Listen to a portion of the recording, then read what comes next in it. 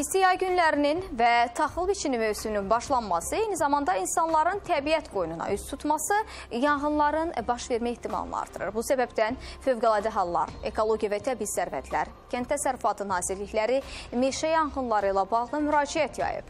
Əhalidən əkin sahələrində, təbiət ərazilərində yanğın təhlükəsizliyi qaydalarına ciddi əməl etmələri, biçindən sonra sahələrə od vurmamaları, söndürülməmiş siqaret kötüklərini ətrafa atmamaları tələb olunur.